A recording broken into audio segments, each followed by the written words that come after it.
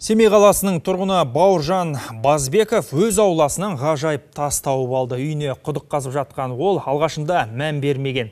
Кейінірек осыдан бірнеше жыл бұрын бақшаны қазып жатып, көне пышақ тауып алған есіне түсіп, құрылыс жұмыстарын тоқтата қойған.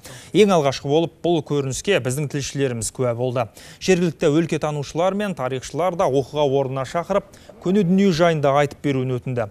Археологтардың алдын ала болжауы бойынша бұл тас қола дәуіріне тиесілі тіпті сақ патшаларының қорым болуы да мүмкін. Қазір мамандар тереңірек зерттеу жұмыстарына кірісті. Олардың қорытындысы жөнінде біз толығырақ хабарлайтын боламыз. сантехниктер келіп айтты істейтін мынаны үлкен қазбасаңыз ана жерде баяғы помповой насос тұрады баяғы вакуумный соны қоясыз деді содан кейін қазғаннан кейін осы тасты таптым әйтпесе ол сол табылмай қала жата беретін тас еді. Алғашында ойладым мынау жай тас екен мынау үлкен тас. Содан бүйтіп бұрыш шыққаннан кейін сосын мына қазып алғаннан кейін өрнектер шықты. Ай қой бұл бұрынғы бір ежелгі тас болуы мүмкін деген сондай пайда болды. Біздің қаламыздың ә, тарихы тереңде ғой. Иә қаланың өзінің шеңберінде ескерткіштер табылып жатыр.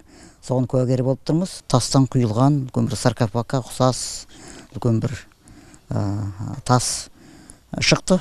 Солай болуы әбден мүмкін дейміз. Өйткені тастың келбеті иә және әлгі сыртындағы бір өрнектер бар екен.